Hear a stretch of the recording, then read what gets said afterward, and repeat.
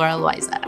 I attended the film production program at Toronto Film School. So the reason I chose Toronto Film School was because it was a short 18 month program and because it was very hands-on and technical, which is what I wanted to get my foot in the door into the film industry. The faculty at Toronto Film School is very supportive, but also like proactive in building a relationship with the students is also like what the students put into the program. I always try to build good relationships with my teachers there, uh, with the advisors there, and I feel like they were able to guide me, to push me to like reach out to other industry professionals that I admired and contact them and, you know, just ask for opportunities to even just watch them work. They're in the industry, so they understand what it's like to network, what it's like to start from zero, from not knowing. When I was at Toronto Film School, I spent a lot of time in the studio and in the equipment rental room.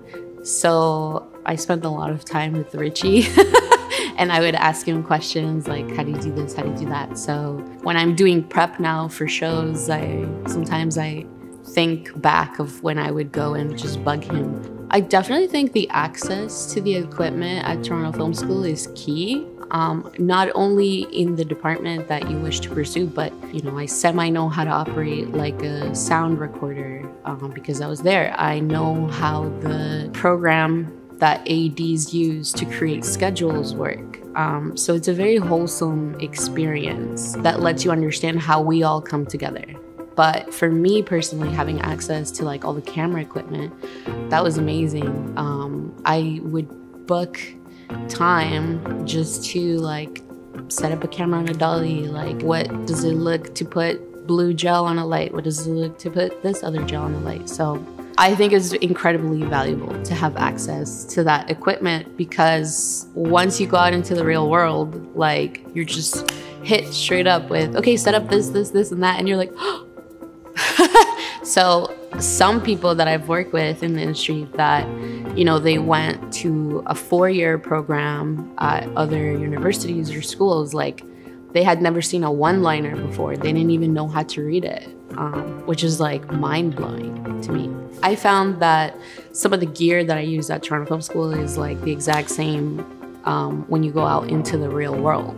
Actually, one of my the first jobs that I got, um, like finishing school or like maybe I was still in school, was because I had experience with the um, ARRI Amira. I reached out to this DP who was looking for somebody who actually had experience with that camera. So I said, "Hey, I'm just starting, but I've that's the camera I've learned on and she hired me for it. So that was like one of my first jobs. Something that a teacher pointed out early in the program at TFS was that the way our brain processes movies is kind of like a dream.